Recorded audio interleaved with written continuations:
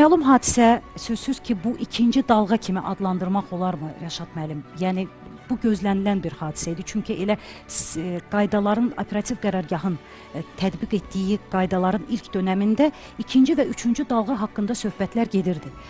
Dünyada da, dünya ölkələrində də bu vəziyyəti nəzərə alsaq, yəni e, sürətlə dəyişən statistik rəqəmlər bunu deməyə əsas verirmi? İndiki sərtləşdirmə qaydaları məhz ikinci dalğanı nəzərə alaraq həyata keçiriləcək. Əvvəla təşəkkür edirəm belə bir imkan yaradıldığına görə. E, əlbəttə ki, e, sayı olaraq 2-mi, 3-mü, 5-mi e, neçənci dalğadır, bunun haqqında konkret bir söz demək mümkün deyil. Bu ümumi subyektiv dəyərlər üzərinə qiymətləndirilə bilər, amma həqiqət var ki, ataların bir sözü var, deyir görsənən kəndə bələdçi lazım deyil. Hı -hı.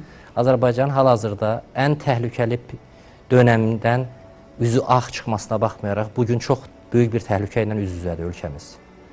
Və hal-hazırda ölkəmizdə son 10 gün içərisində xəstəliyin artma tendensiyası, xəstə və yoluxanlar və sağalanlar arasındakı olan balansda getdikcə mənfi tendensiyanın müşahidə olunması, xəstəxanalarda xüsusən COVID-lə mübarizədə ayrılmış xəstəxanada çarpayı sayılarının getdikcə məhdudlaşması, bu bizə artıq e, yenidən bəzi məsələlərdə daha ciddi bir şəkildə tədbirlər görməmiz üçün və hökumətin buna görə yeni addımlar atması üçün bir səbəb ortaya qoydu. Hı -hı. Çünki koronavirus ümumiyyətlə dünya bəşəriyyəti üçün yeni bir hadisədir.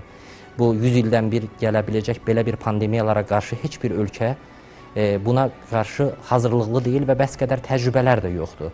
Ona görə də dövlətlər də, hökumətlər də var olan real vəziyyəti, vətəndaşın hadisəyə qarşı cəmiyyətin reaksiyasından tutmuş, ölkədəki tibbi vəziyyətə qədər hər şey analitik olaraq analiz olunduqdan sonra qərarlar verirlər və əfsuslar olsun ki, heç kəs nə dövlət, nə hökumət, necə, nə də vətəndaşların istəmədiyi bir vəziyyətlə üz-üzəyik hal-hazırda və Azərbaycan yəqin ki, artıq e, verilmiş qərara görə e, pandemiyada həftə sonları ən azından daha sərt bir rejimin tətbiq olunması, bununla birlikdə əgər biz gələcəkdə müsbət e, e, nəticələrə nail ola bilsək, arzu edirik ki, bu yumşaldılma yenidən müsbət tərəfə davam etdirilsin. Amma hamı da bilməlidir ki, hadisə belə davam edərsə, bu gələcəkdə daha da hadisənin nəinki həftə sonları, həftə içərisinə qədər dəyişməsinə və rejimin yenidən sərtləşməsinə gətirib çıxara bilər.